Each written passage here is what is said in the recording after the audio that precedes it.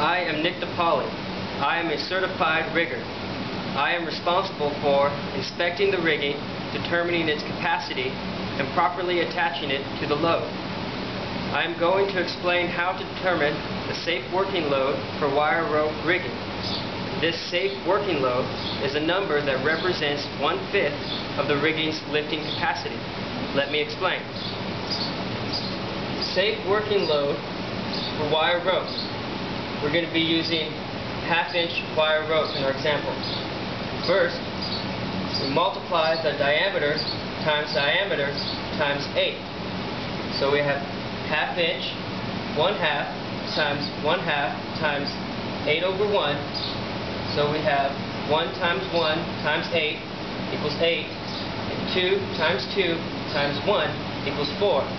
8 over 4, which equals 2. Next, answer is in tons. So it's 2 tons. So we learned a half inch wire cable can be used for rigging on loads of 2 tons or less. Thank you.